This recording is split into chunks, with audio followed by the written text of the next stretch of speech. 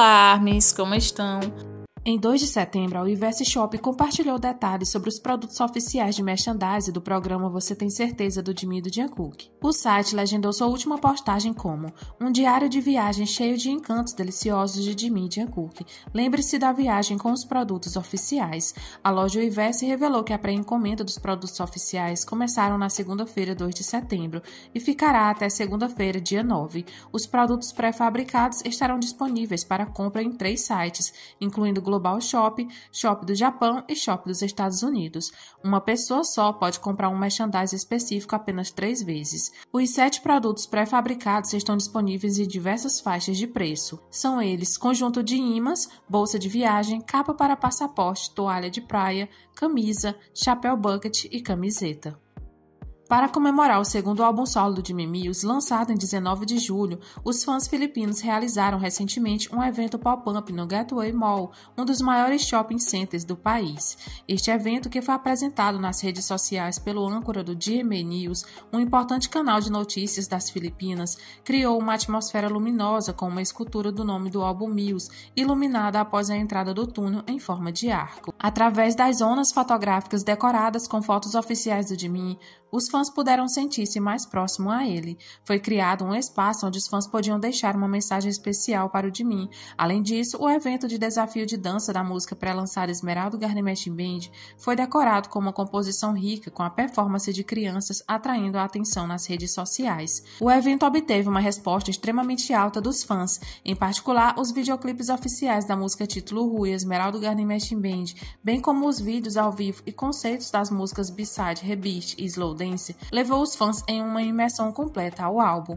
O vídeo oficial do conteúdo Mills, incluindo clipes e fotos, criou uma visão espetacular cobrindo todo o teto do shopping, atraindo a admiração dos, dos telespectadores. Fãs que aproveitaram o evento de maneira segura e organizada, mesmo em um shopping muito frequentado pelo público, se reuniram para parabenizar o Jimin. Anteriormente, Music Garden, a loja pop-up oficial em Seul, que aconteceu de 22 a 28 de julho com o tema Esmeraldo, foi palco de grandes multidões apesar das contínuas ondas de calor e noites tropicais. O apoio e o carinho infinito dos fãs por Mills, um presente do Jimmy enquanto ele se preparava para o seu alistamento, continuou com uma resposta calorosa dos fãs globais. Em 3 de setembro, o meio de comunicação sul-coreano News1 informou que o documentário do Namjoon, filmado antes do alistamento militar, está programado para estrear no 29º Festival Internacional de Cinema de Busan, BIF. Dirigido por Lee Seung-jun, o filme de 80 minutos investiga a criação do segundo álbum solo do Namjoon e captura oito meses de sua jornada antes de seu alistamento. O documentário será exibido na sessão Open Cinema, junto com outros seis filmes de vários países asiáticos, incluindo Japão e Índia. A Big Hit também afirmou que os ingressos para o lançamento mundial nos cinemas serão anunciados separadamente. O 29º Busan Internacional Film Festival, BIF, será realizado de 2 a 11 de outubro em 28 telas em 7 cinemas. Além disso, exibições comunitárias serão realizadas no Megabox Busan Cinema. De acordo com o Newsroom, o filme do Nadion foi apresentado como uma obra selecionada para a sessão Open Cinema em uma coletiva de imprensa realizada em 3 de setembro na Câmara de Comércio e Indústria da Coreia do Sul. Kang So-won, o programador do festival, explicou que o filme se destacou de outros documentários coreanos devido à sua perspectiva única e ofereceria uma experiência nova para o público do festival. Ele declarou: Este filme foi uma inscrição oficial e quando o vi, pensei que, embora fosse difícil de digerir na sessão grande angular, porque tem uma sessão diferente dos filmes feitos pela comunidade documental coreana, pensei que seria uma experiência agradável para o público no cinema aberto. Ele observou ainda que esta é apenas uma segunda vez que um documentário é apresentado na sessão Open Cinema, enfatizando seu apelo tanto para os fãs quanto para o público em geral. Ele disse: Até onde eu sei, esta é apenas a segunda vez que um documentário é exibido em um cinema aberto, e é por isso que eu queria mostrar uma gama mais diversificada de filmes, e pensei que este documentário seria agradável não apenas para os fãs, mas também para o público em geral. Kang So-won também mencionou que, embora Namjoon esteja atualmente servindo nas Forças Armadas e não comparecerá ao festival, o diretor do filme e outros colaboradores estarão presentes para interagir com os participantes. Enquanto isso, Namjoon está se preparando para lançar uma nova faixa colaborativa com a rap americana Megan Thee Stallion intitulada Never Play, com lançamento previsto para 6 de setembro.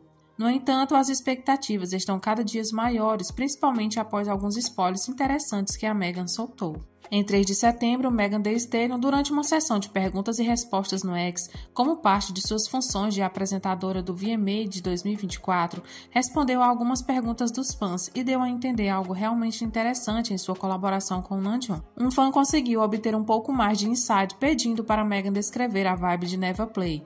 Megan respondeu descrevendo a faixa como divertida, intensa e incrível, alimentando ainda mais a empolgação pelo lançamento. Na tentativa de descobrir detalhes sobre Sobre um possível videoclipe para a próxima faixa Never Play, um fã perguntou: Ei Meg, o Never Play vai ter um videoclipe? A resposta de Mega, acompanhada de emojis, pareceu sugerir fortemente a probabilidade de um videoclipe. A aparição do Dino no reality show japonês I Love Everyone Zoom atraiu mais de 8,8 milhões de espectadores. O meio de comunicação sul-coreano Seun Shimun relatou em 2 de setembro que a transmissão 24 Hour TV que apresenta o programa testemunhou um aumento de 19,7% em suas classificações de audiência entre 31 de agosto e 1 de setembro. Jin foi destaque como convidado especial no I Love Everyone Zoom ao lado do apresentador do programa Masaki Aiba. O episódio mostrou Jim dando banho e escovando cachorros de rua antes de entregá-los a abrigos de animais de estimação. Todos os lucros da audiência do programa e da venda da camiseta usada por Jim foram doados para a caridade. Os fãs estão realmente orgulhosos do Jim por ter aparecido em um programa desse tipo para incentivar a doação e o cuidado com os animais abandonados. A Big Hit abriu a exposição solo do Jungkook Golden The Moments em 30 de agosto. O evento, realizado no Le Méridien Mox Hotel, durará até 22 de setembro. Os fãs compartilharam várias fotos da exposição nas redes sociais a partir de 30 de agosto, que mostraram o evento exibindo vários prêmios dele, fotos inéditas, roupas de MVs e muito mais. Em 2 de setembro, um vídeo da versão a capela da música Hate You se tornou viral online. A interpretação junto com o MV foi tocada na exposição. You é uma faixa do álbum solo de estreia do Jungkook Golden, lançado em 3 de novembro do ano passado. A versão nunca vista antes da música pegou os fãs de surpresa. Muitos compartilharam quão emocionante foi ouvir a música em um lugar especial, contendo toda uma trajetória de seu trabalho solo. A mais recente exposição destaca a jornada solo do Jungkook enquanto trabalhava em seu álbum e promovia na América do Norte. Roupas usadas por ele em MVs de Stand Next to You, Seven e 3D foram todas exibidas na exposição junto com seu MTV Video Music Awards, MTV Europe Music Awards e Billboard Music Awards, dentre outros. Os fãs ficaram surpresos ao ouvir a versão a capela da música e elogiaram seus vocais. Armes, o vídeo foi esse, espero que tenham gostado e por gentileza nos apoie com seu like e comentário. Se não é inscrito, inscreva-se e nos ajude a crescer mais e mais. Muito obrigada por assistir e até o próximo vídeo.